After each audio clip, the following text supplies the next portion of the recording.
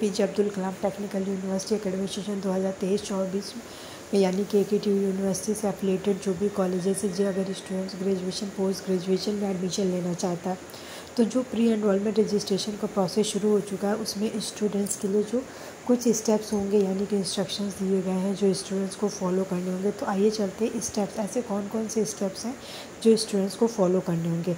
यानी कि primary registration जो प्री रजिस्ट्रेशन करना होगा, उसमें आपको स्टूडेंट्स को एक वैलिड मोबाइल नंबर यूज़ करना होगा वैलिड ईमेल आईडी करनी होगी।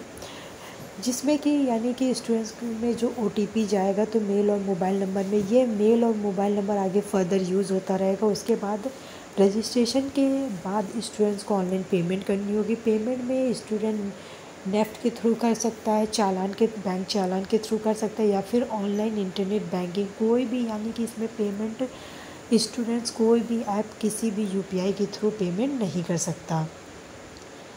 जब स्टूडेंट पेमेंट कर देगा तो उसके बाद जो भी ऑप्शन है, यानी कि स्टूडेंट्स के, उसके बाद तीन ऑप्शंस खुलेंगे final submission personal information and biometric यानी कि बायोमेट्रिक में आपका स्टूडेंट्स का photo sign and thumb impression upload करना होगा।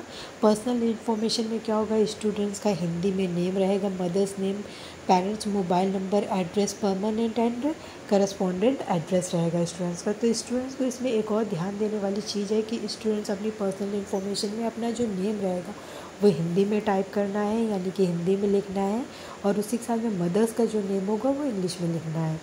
देन स्टूडेंट्स का जो थर्ड स्टेप आएगा, वो आएगा बायोमेट्रिक यानी कि स्टूडेंट को 50 के बी पचास के बी के अंदर photo sign thumb impression upload करना होगा।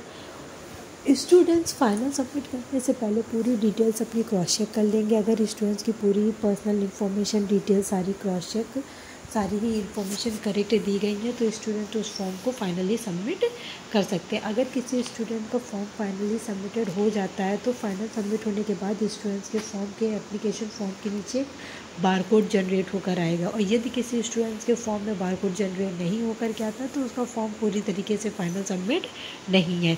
जो कि आगे जब नेक्स्ट स्टेप होगा, इसका document uploading and examination form filling का तो फॉर्म स्टूडेंट्स का रिजेक्ट कर दिया जाएगा। तो एग्ज़ाम यानी कि pre enrolment registration form finally submitted करने से पहले केयरफुली देख लीजिएगा कि स्टूडेंट्स के एप्लीकेशन फॉर्म फाइनल सबमिट के बाद बारकोड शो कर रहा है या नहीं कर रहा है।